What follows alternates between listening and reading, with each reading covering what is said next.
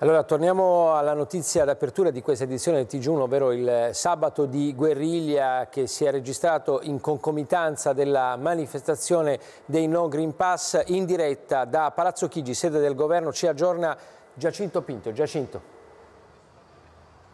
Dopo ore di guerriglia urbana nel centro di Roma la situazione lentamente sta rientrando verso la normalità. Però c'è ancora tanta tensione qui nel centro della capitale, è sceso il buio e centinaia di persone si trovano ancora in queste strade intorno ai palazzi delle istituzioni. Poco fa davanti a Montecitorio eh, alcuni manifestanti Novax hanno occupato la sede stradale, quindi c'è ancora eh, tensione, ci sono state delle cariche della polizia in piazza Montecitorio, in piazza eh, del Parlamento, eh, è ancora presto per fare dei bilanci da fonti ufficiali della questura di Roma sappiamo che ci sono sicuramente eh, dei eh, fermati e ci sono anche eh, dei feriti, sicuramente c'è un poliziotto ferito, non si conoscono ancora le sue condizioni. E pochi minuti fa anche a Milano ci sono state eh, cariche della polizia nei confronti del corteo Novax che cercava appunto di andare verso